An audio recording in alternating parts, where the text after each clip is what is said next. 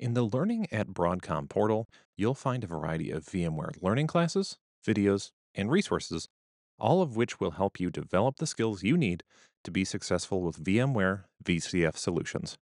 In this video, we'll walk through two different methods you can use to log into the Learning at Broadcom training portal.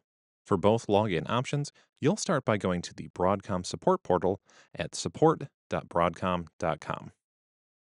If you do not have an account, select the Register button in the top right, then follow the prompts to create your account. If you do have an account, begin by clicking the Login button in the top right.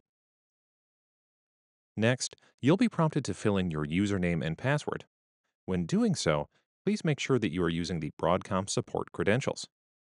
Once you've successfully entered your username and password, you'll then be directed to your Broadcom support dashboard.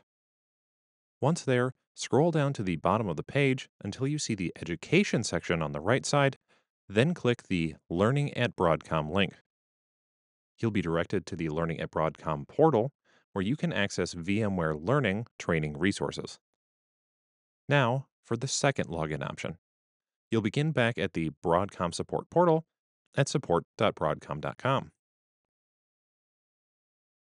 Then scroll down until you see the Education portal under the Additional Resources section and click Explore. Next, you'll be prompted to fill in your username and password.